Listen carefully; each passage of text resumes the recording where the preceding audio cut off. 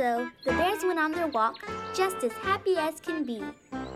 Now, in this very same woods, at the very same time, there was a little girl named Goldilocks.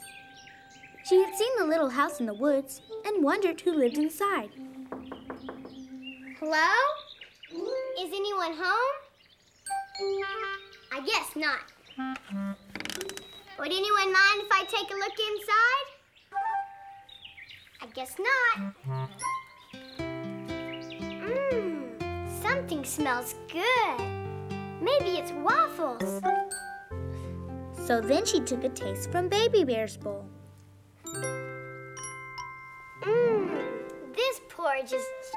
I wonder what other things there are in his mind if I sat down for a little while. I am a bit tired. So she sat down in Papa Bear's chair. Ouch! This chair is much too... This chair is much too soft. Oh. All this eating and sitting has made me sleepy. It's a bear! Oh, oh no!